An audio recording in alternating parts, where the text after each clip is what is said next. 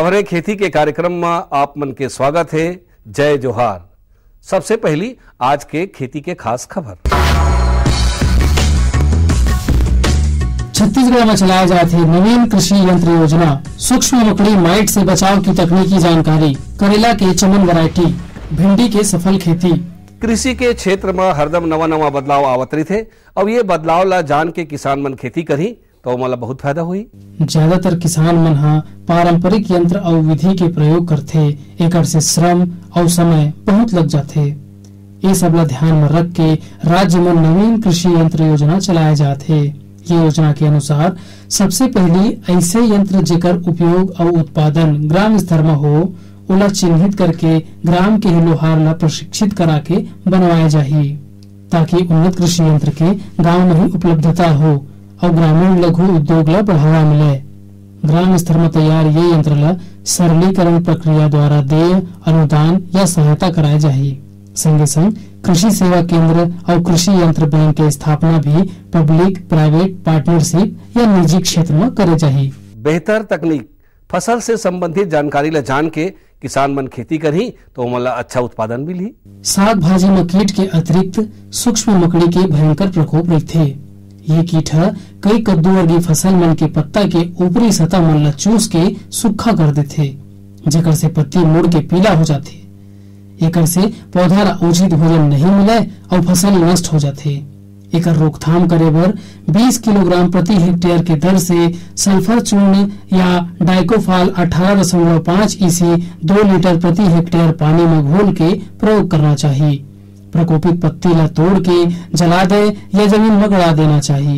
ये प्रकार ले देखभाल करे से सब्ज़ी के उत्पादन क्षमता बढ़ते और बने मुनाफा प्राप्त होते कृषि के मशीनीकरण ले बहुत सुविधा होते और एखर से समय श्रम और लागत तीनों के बचत होते ये नए टाइप का मशीन है रीपर बाइंडर ये वाला। इसमें गेहूँ और धान काट के बंडल बना के नीचे बाजू में साइड में डालता है। छह हॉर्स पावर इंजन पे चलता है और एक घंटे में आधा एकड़ काम करता है एक एकड़ काम दो घंटे में हो जाता है इससे। जो आजकल लेबर की अड़चन जाती है इसमें बंडल भी बाँध के साइड में डालता है ये ये मशीन। ये अभी नया आया ये तकनीक में। नवा नवा किस्म अपनाए ले और नवा नवा बीज के उपयोग करे ले ओखर से गुणवत्ता और उत्पादन दोनों में सुधार होते। साग भाजी लगैया किसान भाई मन करेला के खेती करके बड़ी मुनाफा प्राप्त कर सकते। ऐसा ही करेला के एक उन्नत किस्म चवन के जानकारी देवत हन। ये किस्म के करेला ह बरसात और नम समय में बने मात्रा में होथे। चिकनी, भुरभुरी मिट्टी में लगाए ले यह बने मात्रा में होथे। ये किस्म के करेला ह पतला, लंबा और गहरा हरा रंग के होथे। फल के छिलका मोटा और गुदे वाला होथे। दो महीना में तैयार ये सब्ज़ी के एक एक फल है पचहत्तर ले अस्सी ग्राम तक के वज़न होथे। त हमर किसान भाई मन करेला के चमन वैरायटी ला अपना के अपन आर्थिक स्थिति ला मज़बूत कर सकते सफलता अगर कोनो किसान ह नवा जानकारी के हिसाब से खेती किसानी करके सफलता प्राप्त करते तो ओखर सफलता से और किसान मन ला घलो प्रेरणा मिलथे। आजकल ज़्यादातर किसान भाई मन ह पारंपरिक खेती के अलावा सब्ज़ी भाजी के खेती घलो करत हे और अपन आर्थिक स्थिति ला मज़बूत करत हे ऐसा ही ग्राम सिमगा के किसान सुरेश भैया हा अपन दो एकड़ के खेत में भिंडी के खेती करत हावय। जानकारी देवत ओहर बताथे कि ओखर भिंडी के खेती करे में निंदाई, कोड़ाई, सिंचाई, बुआई और खाद पानी के व्यवस्था करे में ओला लगभग बारह ले पंद्रह हज़ार रूपया के खर्चा आए हवय। जानकारी देवत ओहर बताथे कि अपन उत्पाद ला वह बाज़ार में बेच के लगभग 22 से पच्चीस हज़ार रूपया तक की आमदनी प्राप्त कर ली ओकर ये ज़्यादा उत्पादन ला देख के दूसर किसान मन घलो प्रेरणा लेवत हवय और ऊ मन ह उन्नत तरीका ले खेती करके अपन आर्थिक स्थिति ला सुधार सकत हवय। आओ अब जानथन मौसम के हालचाल। मौसम विभाग ले मिले जानकारी के अनुसार आज आसमान में बदली छाए रही। बीच बीच में पानी गिरे के भी आशंका है। आज के अंक में बसत के खेती संबंधी नवा नवा जानकारी लेके फिर मिलबो तब तक बर जय जोहार।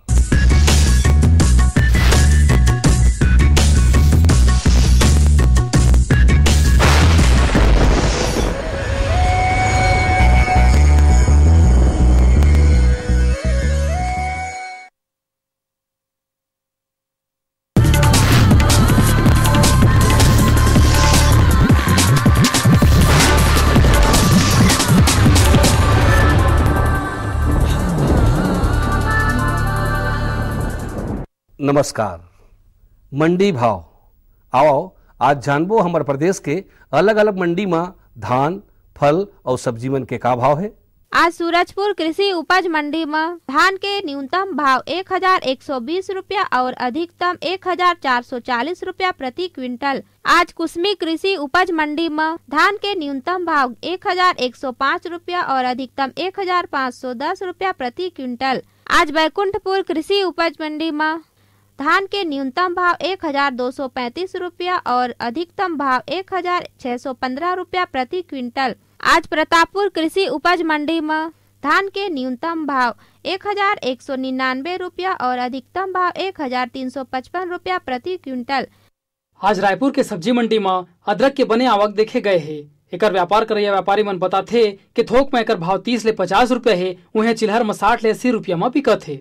अब बारी है मंडी समीक्षा की। आज सूरजपुर कृषि उपज मंडी में धान सरना ल भाव मिले है। बारह सौ रूपया ले बारह सौ अट्ठाईस रूपया प्रति क्विंटल धान आई आर चौसठ ल भाव मिले है। ग्यारह सौ पचपन रूपया ले बारह सौ चालीस रूपया प्रति क्विंटल धान महामाया ल भाव मिले है। ग्यारह सौ सत्तर रूपया ले तेरह सौ पाँच रूपया प्रति क्विंटल। धान पतला ल भाव मिले है। ग्यारह सौ पैंतीस रूपया ले तेरह सौ अठारह रूपया प्रति क्विंटल। धान अन्य ल भाव मिले है। बारह सौ रूपया ले बारह सौ तिरालीस रूपया प्रति क्विंटल। आज कुसमी कृषि उपज मंडी में धान, सोना, मासूरी ला भाव मिले है। पंद्रह सौ इक्यावन रूपया ले सत्रह सौ दस रूपया प्रति क्विंटल धान एच एम टी नया ला भाव मिले है। तेरह सौ निन्यानवे रूपया ले पंद्रह सौ इक्यावन रूपया प्रति क्विंटल धान एच एम टी पुराना ला भाव मिले है। पंद्रह सौ इक्यावन रूपया ले सत्रह सौ दस रूपया प्रति क्विंटल आज बैकुंठपुर कृषि उपज मंडी में धान पतला ला भाव मिले है।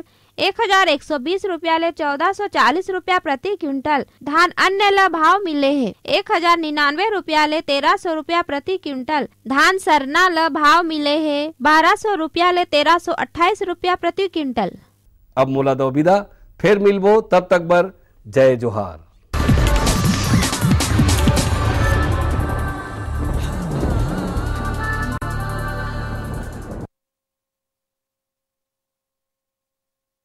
भाइयों को नमस्कार।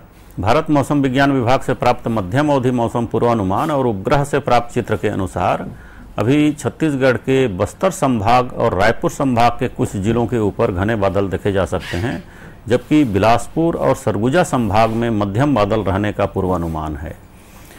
अभी आने वाले 24 घंटों के दौरान छत्तीसगढ़ के अधिकांश जिलों में हल्के से मध्यम वर्षा होने का पूर्वानुमान है। उसके पश्चात वर्षा की गतिविधियों में कुछ कमी आने का भी पूर्वानुमान है। तापमान अभी अधिकतम तापमान 24 डिग्री सेल्सियस के आसपास और न्यूनतम तापमान 17-18 डिग्री सेल्सियस के आसपास रहने का पूर्वानुमान है।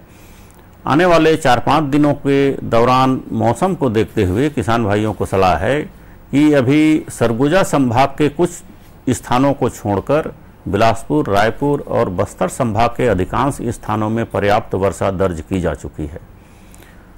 आने वाले दिनों में वर्षा की गतिविधियों में कमी आने की संभावना को देखते हुए किसान भाइयों को सलाह है कि खेतों में उपयुक्त ओल आते ही खेतों की अच्छी तरह से जुताई करें और खरीफ फ़सलों की बुआई जितनी जल्दी से जल्दी हो सके पूरा करने का प्रयास करें।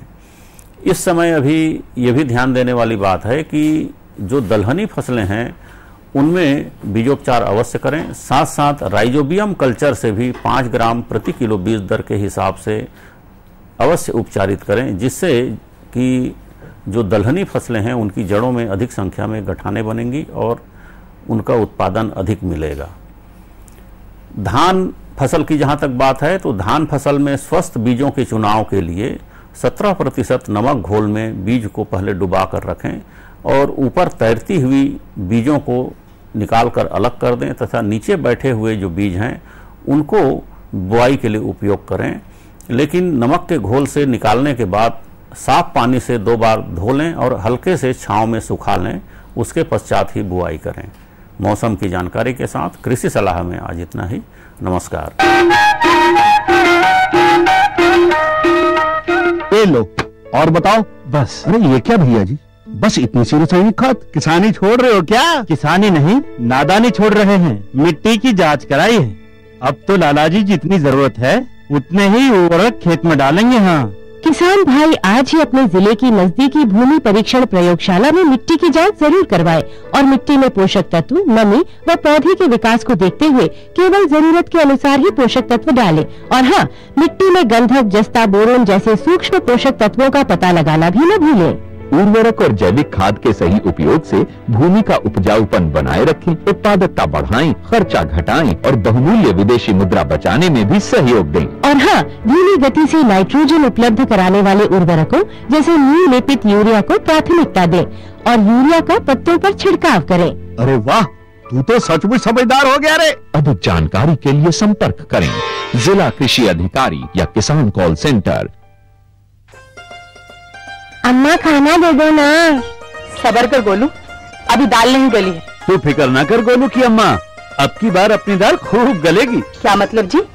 अब की बार एमएफएसएम के तहत दाल की पैदावार को बढ़ाने के तरीकों को दिखाने के लिए देश में एक हज़ार क्षेत्र चुने गए हैं जिसमें हमारा इलाका भी आ गया है। पर इससे हमें क्या फ़ायदा? हमें पाँच एकड़ खेती के लिए खाद और कीटनाशक के अलावा बढ़िया बीजों की एक मिनी किट भी मिलेगी। इतनी दाल का करेंगे क्या जी? अरे भगवान सरकार ने दलहन का समर्थन मूल्य भी खूब बढ़ा दिया है और इनकी खरीद का भी पूरा इंतज़ाम कर लिया है। इससे आमदनी बढ़ेगी और फिर हमारा गोलू अच्छे स्कूल में जाकर के कृषि वैज्ञानिक बनेगा। हाँ। क्या करूँ? हाँ मैं ऐसे ही करूँगा। हाँ। अच्छा मैं जा रहा हूँ। अच्छा जी जी जी। हाँ। जी जी जी। किससे बात कर रहे थे इतना हंस हंस कर? किसान कॉल सेंटर विशेषज्ञ से खेती के बारे में सलाह ले रहा था। सुबह भी रात को भी? किसान कॉल सेंटर सुबह छह बजे से रात को दस बजे तक खुलता है। रविवार को भी? हाँ भाई साल के तीन सौ पैंसठ दिन खुलता है। और इतना फ़ोन का बिल कौन भरेगा? अरे किसान कॉल सेंटर की सेवा मुफ़्त है। पर तुम ये सब क्यों पूछ रही हो? मैं तो कुछ और ही समझी थी।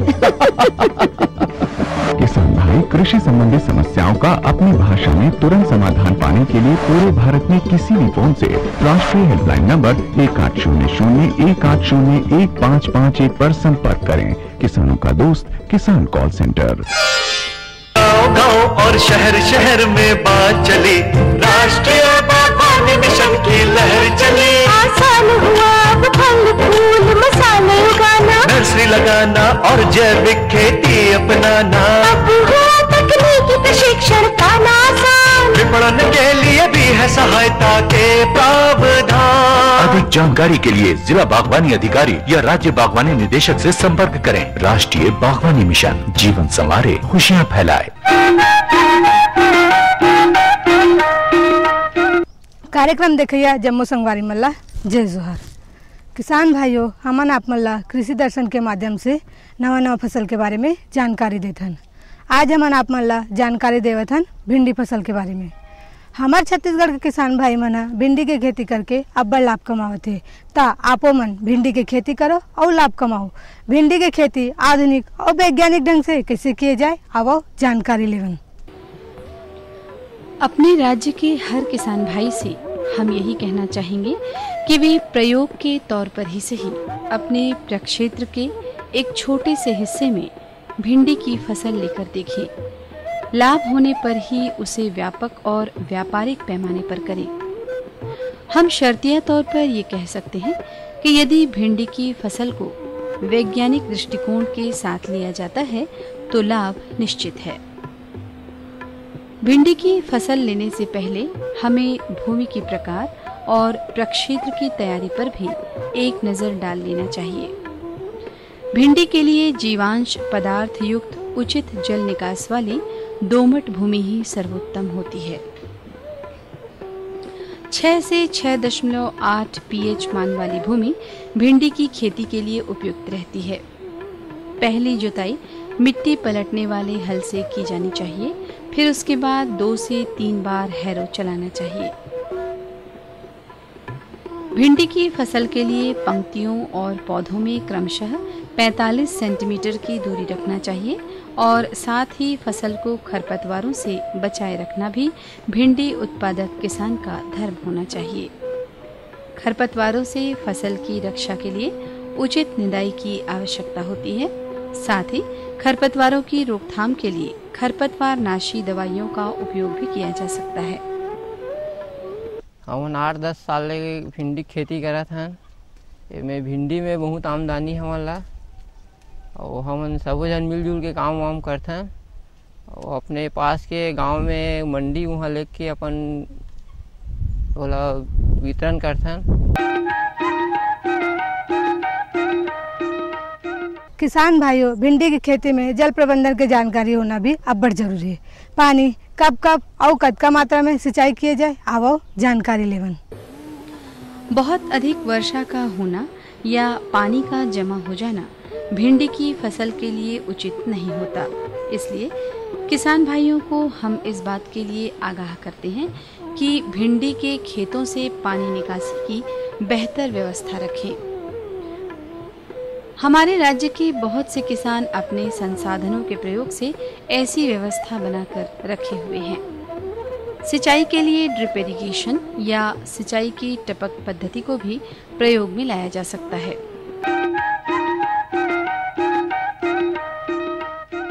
किसान भाइयों, भिंडी की खेती में, खाद प्रबंधन की जानकारी भी होना अब्बड़ ज़रूरी है। खाद कब कब और कतका मात्रा में डाला जाए? आवो जानकारी लेवन। भिंडी की फ़सल के लिए उपयुक्त खाद प्रबंधन भी होना चाहिए। अपनी जागरूकता का परिचय देकर भिंडी उत्पादक किसान इससे अपनी फ़सल को कीटों और रोगों से मुक्त रख सकते हैं।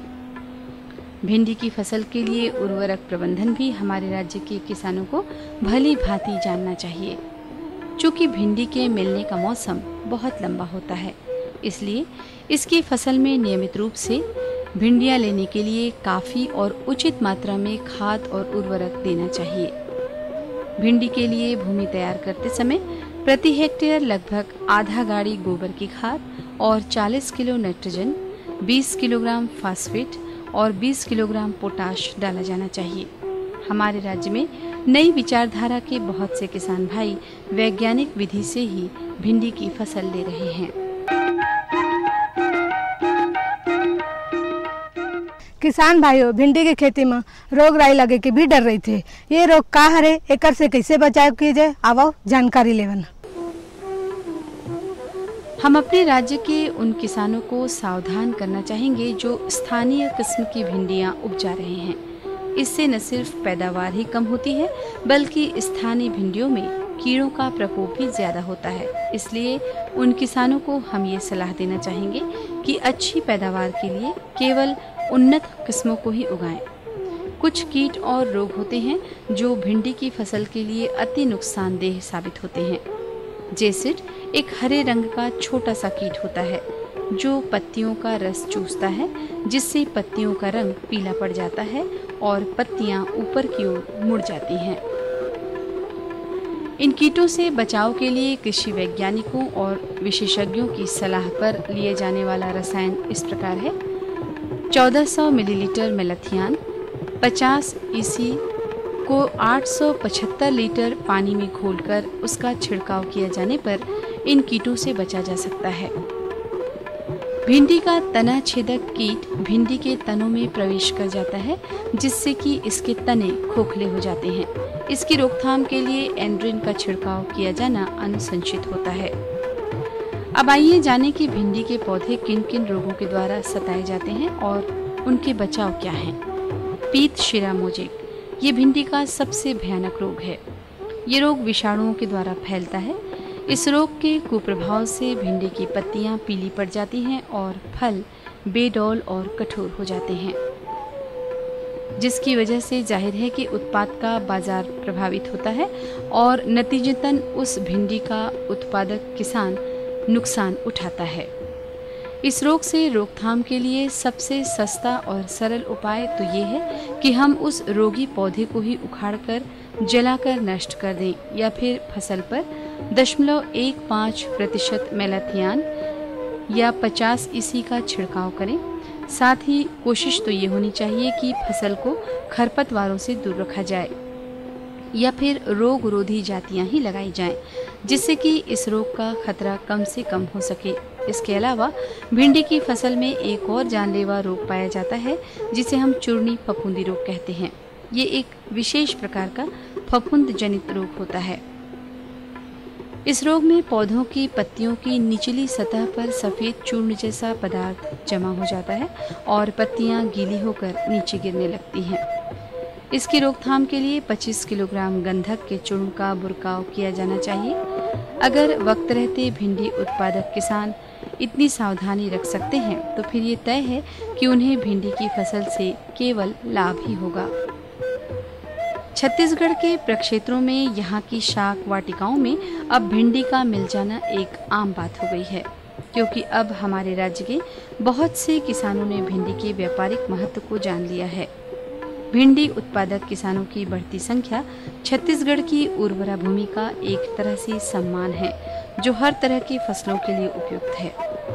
भिंडी की बढ़ी हुई मांग ही भिंडी उत्पादक किसानों को धनवान बनाने का काम कर रही है। समय के साथ भिंडी की उपयोगिता भी बढ़ी है और यही बढ़ी हुई उपयोगिता भिंडी को और भी कीमती बना रही है। सब्ज़ी के रूप में जानी पहचानी जाने वाली भिंडी और भी बहुत से काम आती है।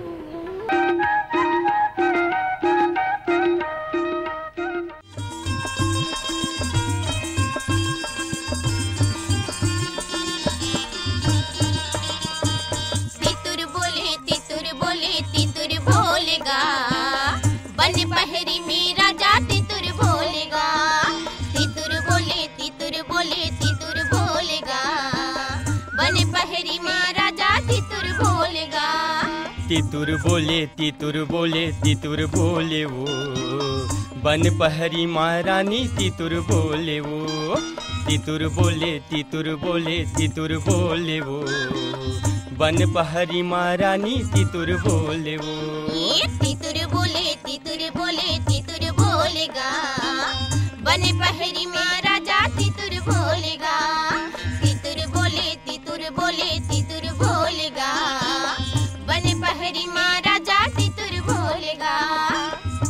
तितुर बोले तितुर बोले तितुर बोले वो। बन पहरी महारानी, तितुर बोले वो। तितुर बोले तितुर बोले तितुर बोले वो। बन पहरी महारानी, तितुर बोले वो। बन डोगरी माँ तेंदू चार खाबो गुइया रे बैहा माँ बैहा जोरे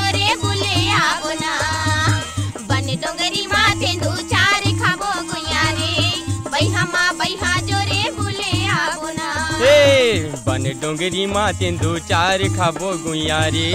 बैहा माँ बैहा जो रे बुले आ बिना बन डोंगरी माँ तेंदू चार खाबो गुइया रे। बैहा माँ बैहा जो रे झूले आ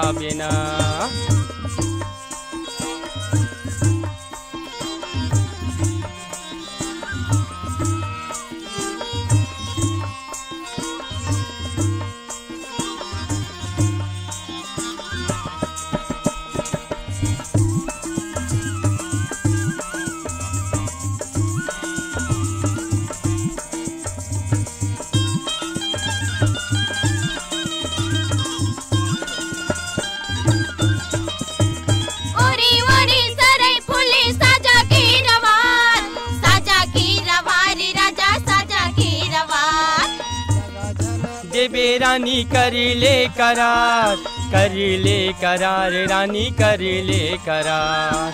ओरी ओरी सरई फूली साजा की रवार साजा की रवार राजा साजा की रवार दगा झन देवे रानी कर ले करार कर ले करार रानी कर ले करार।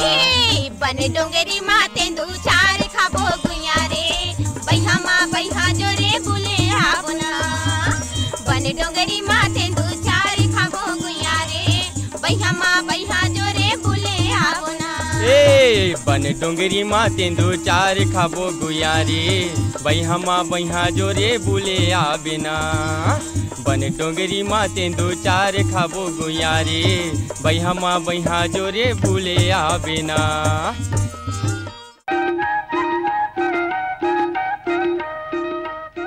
किसान भाइयों, अब जाए के बेरा होगी अब यह अंक में नवा नवा जानकारी के साथ फिर उपस्थित होबो तब तक बर दो विदा। जय जोहार।